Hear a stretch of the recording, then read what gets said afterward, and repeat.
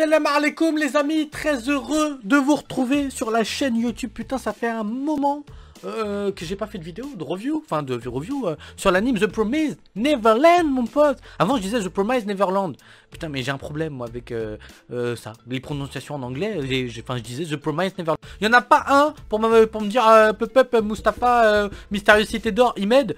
oui, Imed, c'est mon prénom. Il y en m'appeler Mustapha, Samir, etc. C'est fois je des conneries. Bref, je m'égare, je m'égare, je m'égare, je m'égare. On va parler de l'épisode 9, les amis. J'espère que vous portez bien, bien évidemment. On va parler de l'épisode 9 de The Promise Neverland. Un épisode qui reste quand même méga intéressant. Un épisode qui... Une fin qui est juste oufissime. Enfin, bah, j'exagère pas, j'ai envie de te dire. Parce qu'en un sens, ouais, c'est pas non plus euh, la quatrième guerre des, des, ninjas. Non, mais on est quand même sur un épisode qui est insane. On est sur un anime qui est insane, qui est fou. C'est un anime où tu peux pas prévoir ni prédire.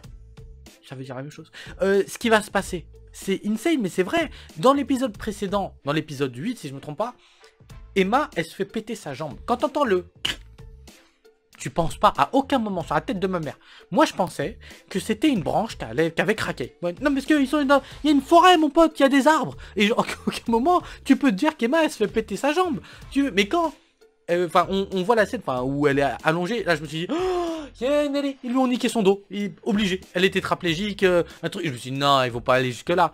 Et là, quand même, de voir sa jambe, de voir le truc rouge, enfin, le l'os déboîté, etc.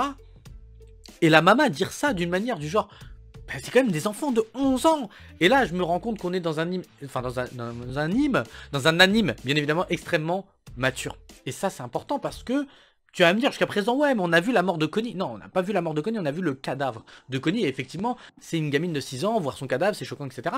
Mais on n'a pas eu, pour le moment, je trouve, de grosses scènes un peu violentes. Et même si c'est pas et pour certains, ça va peut-être pas choquer. Moi, ça me choque de me rendre compte là. C'est franchement, Emma s'est fait péter sa jambe. Et la fin me choque encore plus de cet épisode 9, puisque là, à chaque fois, en fait, on a l'impression que ils vivent un enfer, ils sont en, enfer. Et ils peuvent pas en sortir, en, sortir tout court. À chaque fois, il se passe des trucs. C'est ça que j'aime, c'est qu'il se passe des trucs. Mais what the fuck? C'est pas juste des petits trucs, tu veux, euh, Norman il a mangé une cacahuète de travers. Non, j'ai mon pote, euh, c'est toujours des trucs du genre, lui il va se faire livrer demain soir. Hop, on avance la date, direct. Et ça c'est va essayer de trouver un plan. Et c'est le but de cet épisode un peu de nous amener sur la suite, puisque dès le début on a Norman qui avec Emma, elle est au lit, il est à ses côtés, enfin il reste à ses côtés. On peut se poser la question quand même, est-ce qu'il euh, n'est pas amoureux d'elle, puisqu'il a, l'a dit dans l'épisode 2 ou 3, qu'il aimait, il a dit ça à Ray, mais on sait pas si c'est un je t'aime genre en mode famille, ou c'est un je t'aime en mode ouais je t'aime réellement. On peut supposer au vu de la tâche qu'il lui porte quand même, y compris la scène où il fait un rêve à un moment, où tout le monde est mort et il la prend dans ses bras, quand même qu'il ressent des sentiments pour elle. Et c'est pour ça qu'on a la scène à côté qui est un peu... Euh, enfin, qui est un peu terrifiante pour lui, quand, quand il va chercher le verre d'eau, parce qu'il sent qu'il perd le contrôle. Et il a peur, il est en panique totale. Et il n'est pas en panique, je pense, parce que il va mourir. Il est en panique parce qu'il accepte sa mort. Et parce qu'il sait, en gros, il se dit, il n'y a plus de possibilité là. Là, j'accepte ma mort, je vais quitter Emma, je vais quitter Ray, je vais quitter tout le monde, et je vais me faire tuer par des démons. Et c'est cette peur-là qui s'instaure, je pense, euh, euh, à l'intérieur de lui. À l'opposé, on a son ami, on a Ray, qui lui pète un câble. Et on le voit, c'est ça qui est, génial, parce qu'on a deux personnages qui d'habitude gardent leur sang-froid, surtout Ray, mais là qui pète un câble. Ray, il pète les plombs. Il, il sait pas quoi faire. D'un côté, j'ai envie de te dire, c'est 6 ans de plomb quand même, qui, sont mis à l'eau un peu comme ça, mais il décide de faire évader Norman. Il dit à Gilda, ouais, si je me trompe pas, et Don, il leur dit, ouais, on va mettre en place le plan. Les deux acceptent, bien évidemment. Et là, en gros, on se retrouve dans la chambre avec Emma, Norman et euh, Ray. Norman, je sais pas version arabe, moi, j'ai pas version japonaise. Et euh, Norman et... Je leur dis Norman, pas Norman. Euh, ah bah si, le R se prononce L en japonais. Oui, la vidéo, il y a des hors-sujets de temps en temps, les amis. On est avec ces trois-là dans la chambre, bien évidemment. Et à ce moment-là, je trouve c'est assez touchant puisque c'est leur amitié qui est un peu mise en avant. Et ce qui m'a énervé, il y a un petit truc quand même qui m'a énervé, c'est que bien évidemment il y avait le plan, euh, le fait que ça soit, enfin qu'ils soient tous si importants. Moi, je pensais qu'ils auraient pensé ça un petit peu avant, parce qu'ils disent quand même c'est des livraisons. On le sait, là ils en parlent, on est des livraisons, c'est Emma qui a eu l'idée en disant à Norman qui refuse lui de de, de s'évader. Il dit non, quoi qu'il arrive, je reste avec vous jusqu'au bout, mon amitié, vous êtes des hey, vous êtes des frères et sœurs, etc. On est une famille. Et en fait, Emma lui dit, mais vu qu'on est des repas, si enfin on est si précieux, si tu veux, on est des repas, euh, elle l'a dit euh, Mama, vu qu'on est si précieux, bah on a juste à s'abîmer euh, nous-mêmes, entre guillemets, et là, quoi qu'il arrive, bah ils pourront pas, puisque eux, ils veulent uniquement des produits de qualité. C'est pas teubé, une viande dégueulasse face à une viande de qualité, la viande dégueulasse, on va pas la vendre, on va prendre la viande de qualité. Et, c'est une logique. Mais cette logique-là, je pensais que quand même, elle serait présente dans les épisodes précédents. Donc là, on arrive un peu tardivement sur ce cas-là, mais Enfin, surtout avec leur cerveau, surtout euh, Ray, avec euh, l'amnésie infantile, c'était insane, c'était ouf de se dire qu'il a eu des souvenirs, donc euh, qu'il a des souvenirs avant, enfin quand il était dans le ventre de sa mère, avec le, liquide, etc. Il en parle, un liquide sombre et chaud, etc. Ils ont quand même énormément de connaissances sur le si peu de monde qu'ils ont réellement vu. En fait, ils, ils savent rien du monde extérieur. Et on en revient quand je parle au monde extérieur parce que cette fin, elle est tellement énorme que je me dis, est-ce que dans l'anime, on va voir ce monde extérieur Est-ce que oui ou non, ils vont réussir à s'évader un jour? Parce que jusqu'à présent, là, il leur arrive que des merdes. Et là, on est quand même dans un cas... Enfin, la fin, c'est insane. Moi, je, trouve ça fou. On a l'évasion de Norman. Euh, cette évasion... Oh, j'ai pas les mots. Non, je te jure, j'ai pas les mots. Quand il arrive et qu'il voit le gouffre, tu t'y attends pas.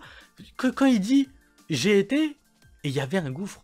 Et c'est là où je me suis rappelé tout de suite le souvenir de euh, la mère grand, la, enfin la grand-mère, euh, donc de, la mère de toutes les mamas là, qui, enfin on a un flashback, c'est elle dans le passé, et on a une petite qui est tout en haut d'un mur qui a essayé de s'évader. Et elle, c'est la maman actuelle.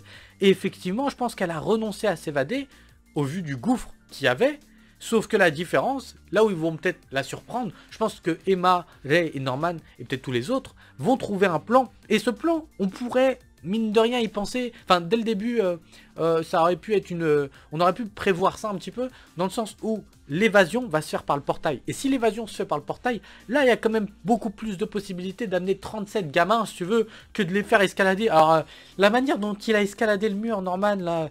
Non, mais franchement, il y a un... Non, mais mais je me suis posé la question. Moi, quand je l'ai vu avec les draps, je me suis dit, mais attends, moi j'ai réfléchi parce que moi j'ai regardé Colanta dans ma life, euh, j'ai regardé des euh, Fort Boyard ou des trucs. Euh, mais quand tu essayes de monter, de grimper un truc comme ça là-haut, mon pote, bah tu sais, tu fais accrocher ton truc. Mais là, le mur, il a rien pour accrocher. Je me suis dit, mais attends, il va faire comment? Ah, mon pote, le truc d'escalader. Bon, c'était un peu trop ça quand même, je trouve.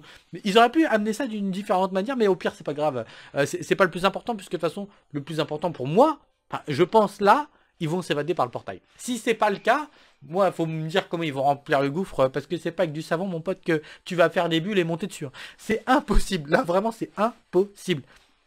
Cette fin, elle était monstrueuse pour moi, j'ai adoré. Le fait qu'ils soient là et qu'ils disent « Non mais j'ai été ». Et on, voit un peu sur le retour, son visage, quand la maman elle est là, euh, elle le recherche et et, c'est ça qui est dommage, c'est ça que je voulais voir. Je me demande si vous aussi, on attend qu'une chose en vrai. C'est que la mama, parce que qui est probablement une ninja euh, euh, du village de Zabuza, putain la meuf, mais elle, on a envie de la voir en panique. On a envie de la voir dans un moment de stress intense. Et peut-être que on va la voir dans un moment de stress intense avec ce qu'a laissé la sœur Chroné. Parce qu'elle a laissé quelque chose, je pense, pour les enfants.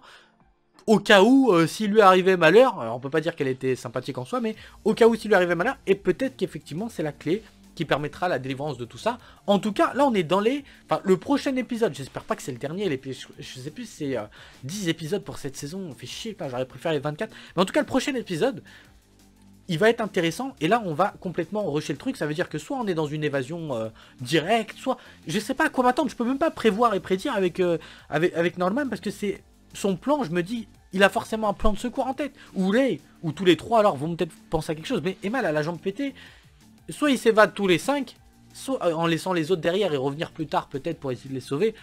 Moi, j'arrive pas à les imaginer tous s'en aller. Ou alors, la plupart de l'anime se passe vraiment dans l'orphelinat, euh, à Gracefield, ouais, c'est le nom, sur le site numéro 3, là. Moi, je vois que ça. Les amis, en tout cas, j'espère que vous avez aimé l'épisode, parce que vraiment, cet anime, il y a juste un truc, mais je vais être rabat-joie. Mais ça, c'est vraiment mon côté rabat-joie, je pense que cet anime, il est parfait, l'animation, elle est correcte, l'OST, on est dedans, il y a les coupures de scène, c'est-à-dire que on va avoir l'OST d'un coup, boum, le son s'arrête. Là, on a une expression, des pleurs, euh, un changement de caméra, etc. sur un angle euh, complètement différent et qui est assez généralement, qui fait flipper le visage de la maman ou genre de truc, les yeux. On intensifie beaucoup, enfin, on, marque beaucoup euh, les couleurs des yeux on voit un regard profond, etc. Mais il manque un truc et j'arrive pas à savoir quoi. C'est ça qui m'énerve le plus. Je trouve qu'il manque un truc pour que cet anime, en fait, il fasse vraiment parler de lui. C'est ça qui est dommage, je trouve que l'anime ne fait pas assez parler de lui. Enfin, en gros, tout le monde... Le manga a fait fureur, certes, mais je trouve que l'anime, il passe vraiment... Euh, Alors peut-être c'est, moi je dirais peut-être la rapidité des événements. C'est vrai qu'on a toujours quelque chose. Bah, tu me diras avec SAO, on a ça aussi et c'est bien. Donc euh, non, je sais pas. Vraiment, je sais pas si quelqu'un a une idée en tout cas. En tout cas, j'espère que vous aurez aimé l'épisode, les amis. On se retrouve bien évidemment pour d'autres vidéos sur la chaîne. Stay tuned, euh, stay tuned, stay tuned, mon pote, stay tuned, stay tuned. Comment on dit, stay tuned. Restez branchés entre guillemets. Et je vous dis à la prochaine. On se revoit bientôt. Sayo nara.